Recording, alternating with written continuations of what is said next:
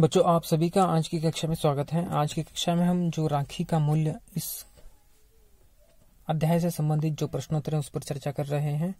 इसमें जो चौथा प्रश्न है, नीचे लिखे कथनों का अर्थ स्पष्ट कीजिए। जैसे कि यहाँ पे कुछ कथन है, उसका हमें अर्थ स्पष्ट करना है।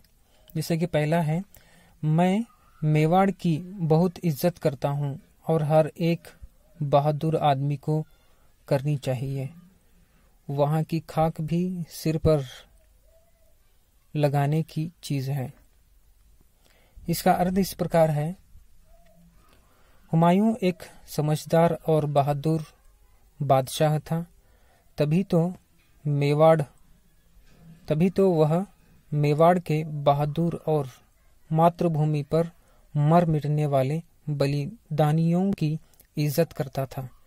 मेवाड़ की इज़्ज़त करने का उसका आधार यही था कि मेवाड़ की भूमि के कण कण में राष्ट्र प्रेम कूट कूट कर भरा था। इसलिए यह रज सिर से लगाने योग्य बनी। इस प्रकार हुमायूं मेवाड़ से संबंधित अपने विचार को व्यक्त करता है।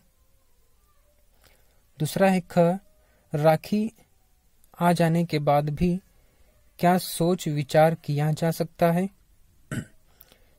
यह तो आग में कूद पड़ने का न्योता है। राखी आ जाने के बाद भी क्या सोच विचार किया जा सकता है? यह तो आग में कूद पड़ने का न्योता है। इसका अर्थ इस प्रकार है हुमायूं राखी को प्रेम का सर्वोच्च निमंत्रण मानता था। ऐसा निमंत्रण जिसमें क्या, क्यों, कैसे, जैसे कोई संदेह नहीं होते। जिसका एक ही अर्थ है कर्तव्य का पालन, चाहे इसके लिए प्राण ही क्यों न देने पड़े। इस कथन का अर्थ इस प्रकार है।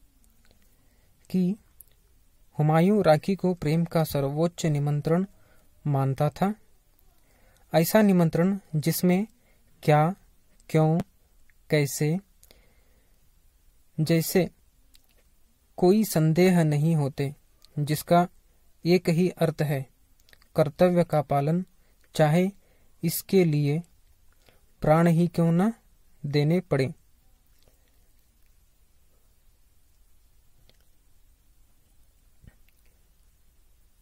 प्रश्न पाँच, नीचे दिए विदेशी शब्दों के हिंदी पर्याय लिखिए बच्चों, जिस प्रकार यहाँ पे दिया जा रहा है कि यहाँ पे विदेशी शब्द हैं, उन विदेशी शब्दों के हमें अर्थ लिखना है।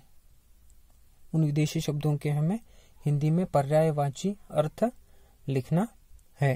जैसे सबसे पहले यहाँ पे एक शब्द है मुकाबला। मुकाबला का अर्थ है संघर्ष करना। इस मुकाबला शब्द का अर्थ जो है संघर्ष करना। दूसरा शब्द है जख्म। जख्म का पर्यायवाची शब्द है घाव। जख्म का पर्यायवाची शब्द है घाव। तीसरा है निशान। निशान का पर्यायवाची शब्द है चिन्ह। निशान का पर्यायवाची शब्द है चिन्ह। चौथा है तारीफ़। तारीफ़ का पर्यायवाची शब्द है प्रशंसा। तारीफ़ तारीफ़ का पर्यायवाची शब्द है प्रशंसा। पांचवा है मंजूर। मंजूर मंजूर का पर्यायवाची शब्द है स्वीकार। इसका पर्यायवाची शब्द है स्वीकार।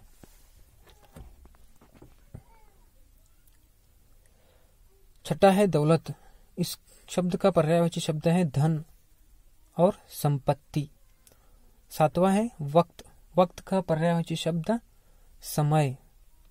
आठवां है, पाक। पाक का पर्यायवाची शब्द, पवित्र।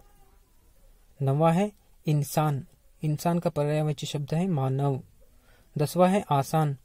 आसान का शब्द, पर्यायवाची शब्द है, सरल। ग्यारहवा है, किस्मत।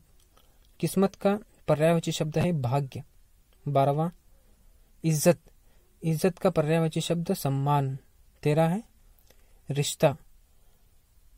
रिश्ता का पर्यायवाची शब्द संबंध। चौथा है? चौदवा है?